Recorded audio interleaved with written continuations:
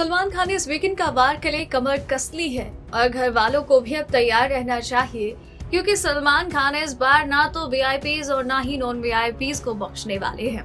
जी हाँ दरअसल दोनों ही तरफ़ से आग बराबर लगी है और सलमान खान के दिमाग में भी उतनी ही आग लगी है। क्योंकि इस बार इस हफ़्ते में अगर वी ने अपनी पूरी ज़िम्मेदारी निभाई है तो नॉन वी ने उनकी ज़िम्मेदारी को र्यून करते हुए देखा गया है। जिस तरीके से शमिता शेट्टी ने घर में बवाल काटा और अपना आपा खोती नज़र आई, उसे लेकर सलमान खान उन्हें जमकर फटकार लगाने वाले हैं।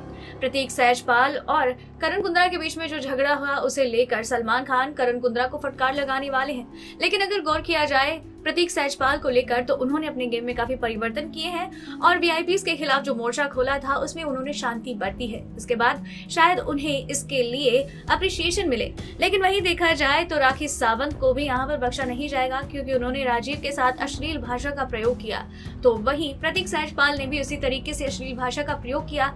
तो इन दोनों को भी जमकर फटकार लगने वाली है। बात की जाए देव और रश्मि की तो उन्होंने जो ज़िम्मेदारी उन्हें दी गई थी, उन्हें अच्छे से निभाया है। लेकिन फिर भी वो अपना प्लॉट खोती नज़र आई है और गलतियाँ करती दिखी हैं। उसे लेकर भी उन्हें फटकार लगाई जाएगी। निशांत भट्ट, जो अक्सर ही प्रतीक सहजपाल को अपना दोस्त बनाने का यहाँ पर दावा करते रहते हैं, वो भी इस पूरे हफ़्ते में उस दोस्ती पर बिल्कुल भी खड़े नहीं उतरे हैं। तो उसे लेकर भी उनकी क्लास लगती नज़र आएगी। जिस तरीके से घर में इस बार हड़कम बचा है, उसे लेकर भी सलमान खान, राखी सावंत से बात करने वाले हैं, क्योंकि जिस तरीके से वो अपने पति को लेकर प्रोटेक्टिव हो रही हैं और हर बार उनके लिए स्टैंड लेती है तो उसे लेकर भी सलमान खान उन्हें फटकार लगा सकते हैं कि उनके पति रितेश खुद का स्टैंड ले सकते हैं, उन्हें उनका गेम खेलने की ज़रूरत नहीं है। इसका मतलब ये है कि वीकेंड का वार काफ़ी ज़्यादा इंटरेस्टिंग होने वाला है।